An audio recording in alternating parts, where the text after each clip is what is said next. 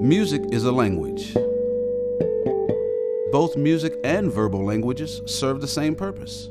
They are both forms of expression. They can be used as a way to communicate with others. They can be read and written. They can make you laugh or cry, think or question, and can speak to one or many. And both can definitely make you move. In some instances, music works better than the spoken word because it doesn't have to be understood to be effective. Although many musicians agree that music is a language, it is rarely treated as such. Many of us treat it as something that can only be learned by following a strict regimen under the tutelage of a skilled teacher. This approach has been followed for hundreds of years with proven success, but it takes a long time. Too long.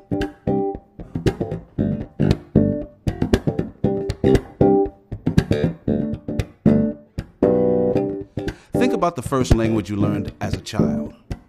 More importantly, think about how you learned.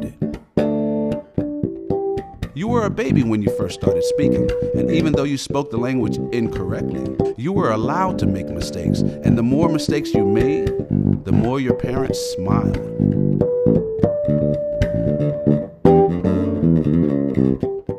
Learning to speak was not something you were sent somewhere to do only a few times a week.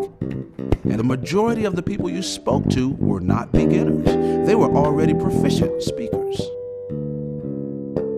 Imagine your parents forcing you to only speak to other babies until you were good enough to speak to them. You'd probably be an adult before you could carry on a proper conversation. To use a musical term, as a baby, you were allowed to jam with professionals.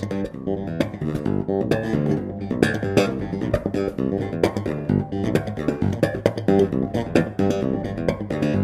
approach music in the same natural way we approached our first language, we would learn to speak it in the same short time it took to speak our first language.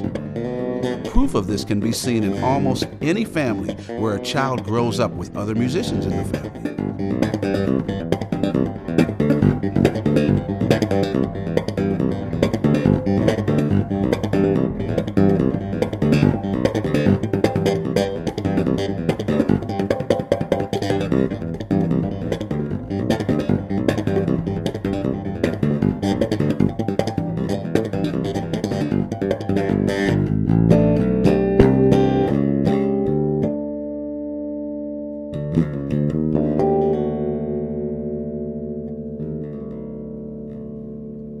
Here are a few keys to follow in learning or teaching music.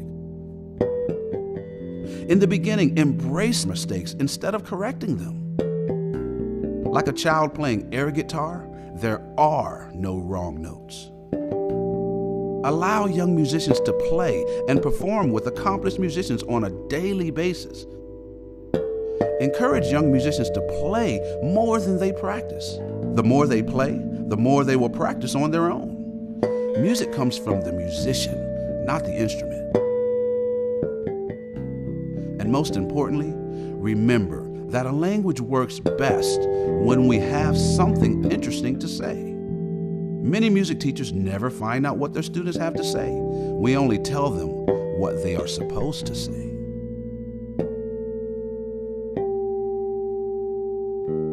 A child speaks a language for years before they even learn the alphabet. Too many rules at the onset will actually slow them down.